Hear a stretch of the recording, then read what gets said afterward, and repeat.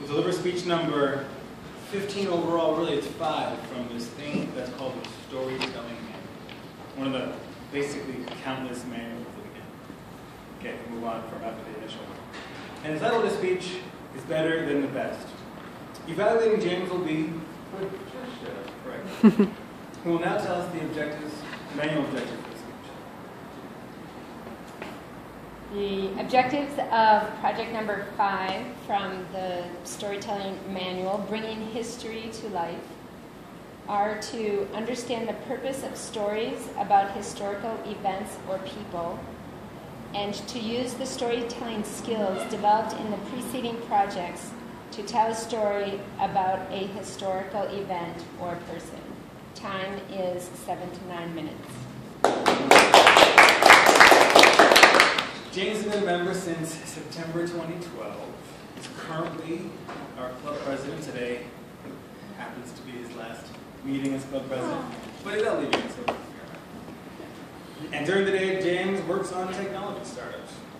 So in addition to the manual objectives, James's personal objectives are one, don't ramble. Two, use pauses effectively. And three, move around. Is that a D? So please join me in welcoming James, better than the best, better than the best, James.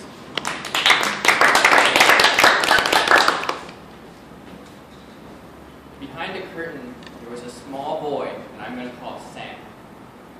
He peeked behind that curtain and saw his father walking down the driveway into his truck and drove away. Sam walked out from the, behind the curtain, let a sigh of relief. He didn't have to go with his dad today. Boom! His door was flung open. A towering figure said, Sam, what are you doing hiding over there? Mom, I didn't want to go with Pa today. He makes people cry. He takes things away from them. The year was 1923. It's in the middle of the Great Depression. Sam's mom and dad had sold all their jewelry and all their washes to bring food on the table. And the only job that Sam could, Sam's father could get was a repossessor, repo man, someone taking farms away during the Great Depression. And Sam went with his father and saw the tears that it brought to the people that he was taking the farms away from. He heard the sounds of people screaming when he came and saw them gripping the one thing that they loved their only source of income, their farm, their home. Sam's mom sat next to Sam on the bed, put her arm around him. Look, Sam, your father has to take things away in order to give us food. I know you don't like that, but maybe you could try doing what I do instead.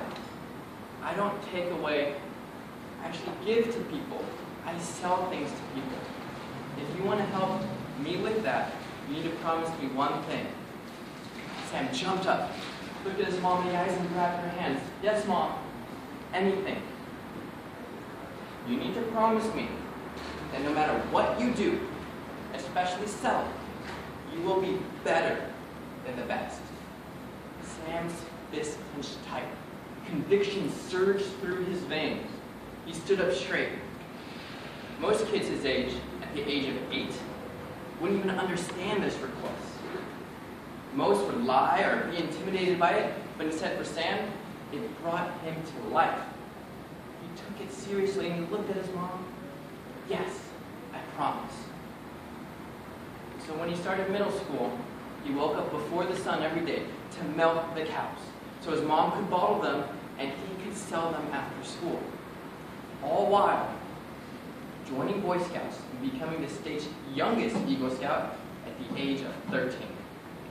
And then in high school, Sam started a paper route, sold papers in the morning before school, on the way to school, and after school as well. All while becoming the quarterback of his football team and leading their high school to a state championship.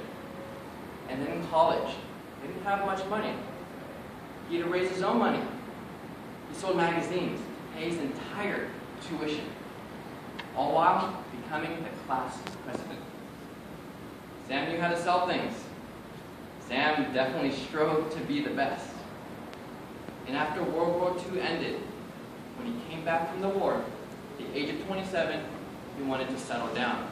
He wanted to do the thing that he knew how to do best, and that was sell things. And he wanted to go to the big city and compete with the big guys. He wanted to open a retail store. But his wife said, no. You're not going to the big city. We're simple folk here. We're from rural America. We get forgotten. She knows the initiative, the promise that Sam has himself to make a difference. She wanted Sam to make a difference in rural America for their people. So Sam opened a retail store in a small rural town of just 7,000 people. He didn't ever have any real or retailer experience before. And so he went back to his mother's words, be better than the best. So he walked across the street to the other retail store in town and copied down all their prices and talked to the employees and looked at all the processes. And he went back to his store and did the same thing.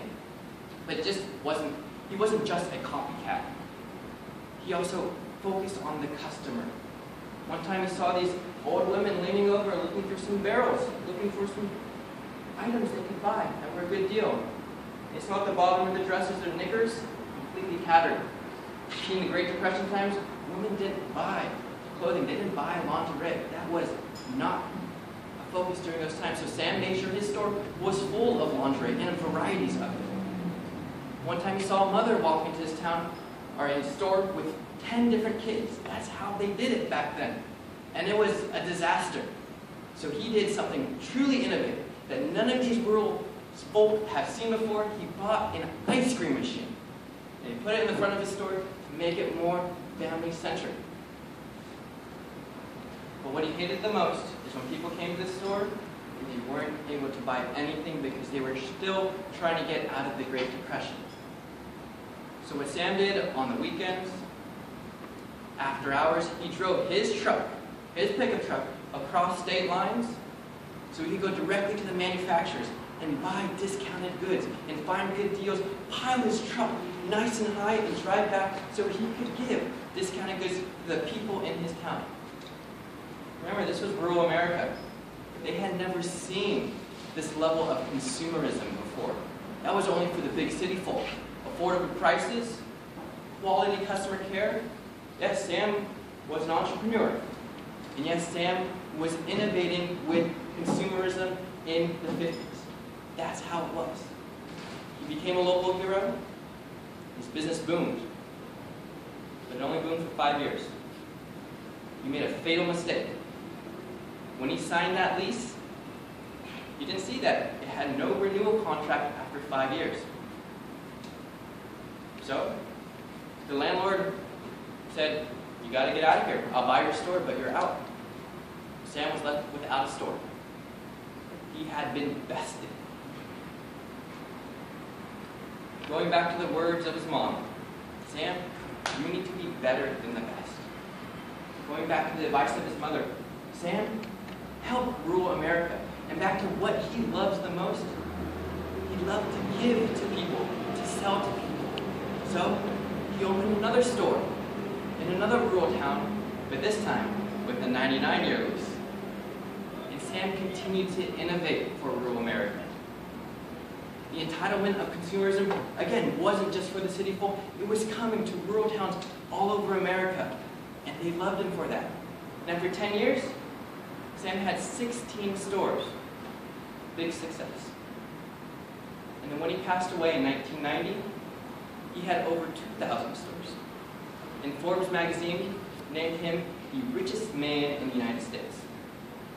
Sam, his full name, for those that haven't guessed already, is Sam Walton, the founder of Walmart. Many city folk scourge his name to this day, scourge his legacy. But just remember, in the 40s, 50s, and 60s, there was a man changing lives in rural America, giving them opportunity, allowing them to buy what they wanted to buy, just like everybody else. In rural America, consumerism exploded. It was in rural America where Sam became better than the best.